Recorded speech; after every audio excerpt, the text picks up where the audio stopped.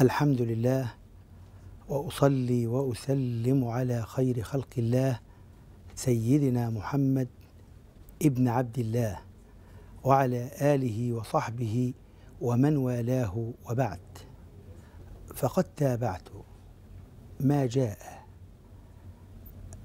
في بعض المواقع. الإلكترونية على لسان القرضاوي من تحريض لشباب مصر ومن دعوة للحشد ضد مصر.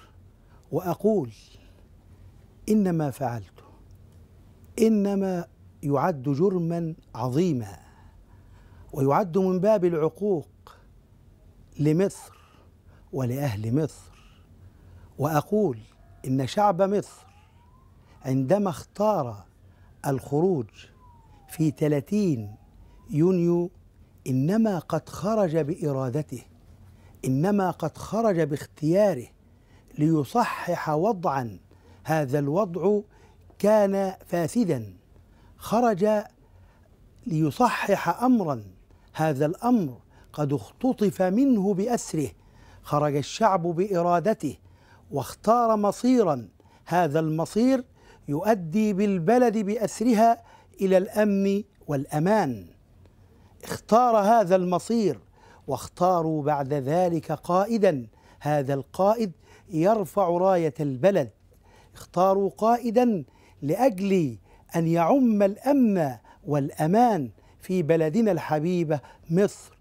وفق الله أهل مصر بأن نصرهم في ثورتهم هذه في 30 يونيو.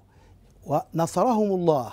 وهذا هو وعد الله لمن يتقيه. كما قال إنا لننصر رسلنا والذين آمنوا في الحياة الدنيا ويوم يقوم الأشهاد. وإن مصر بأسرها وبشعبها وبقائدها بعد أن أنعم الله عز وجل عليهم بتصحيح هذه الأوضاع يأتي بعد ذلك هذا الرجل الذي يتكلم باسم الدين ويريد أن يرجع بمصر إلى الوراء.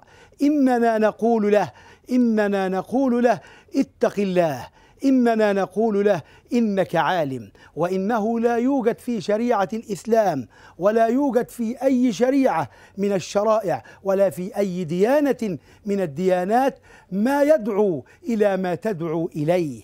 إنك تدعو إلى قتل الأبرياء إنك تدعو إلى التدمير وإنما قمت به.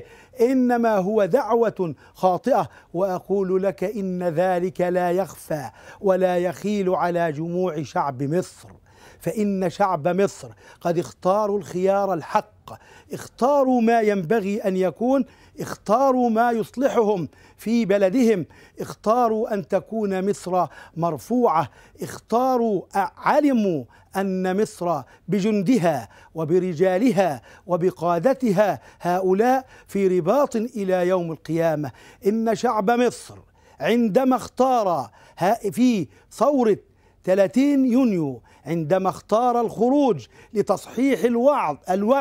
لتصحيح الوضع الفاسد إنه قد اختار ذلك لأنهم يثقون بأنهم جند الله وأن رسول الله قال في شأنهم إذا فتح الله عليكم مصر فاتخذوا منها جندا كثيفا هم من خير أجناد الله في الأرض. كما قال أبو بكر ولما هذا يا رسول الله؟ قال النبي المصطفى محمد لأنهم وأهليهم في رباط إلى يوم القيامة.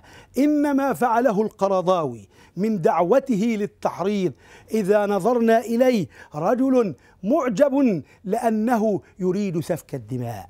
الله عز وجل بين ذلك حيث قال ومن الناس من يعجبك قوله. في الحياة الدنيا ويشهد الله على ما في قلبه وهو ألد الخصام. وإذا تولى سعى في الأرض ليفسد فيها ويهلك الحرث والنسل والله لا يحب الفساد. أتريد أن تحكمني؟ فإن لم تستطع واخترت غيرك أن تحرضني بعد ذلك وهو ألد الخصام. وإذا تولى سعى في الأرض ليفسد فيها ويهلك الحرث والنسل والله لا يحب الفساد وإذا قيل له اتق الله أخذته العزة بالإثم.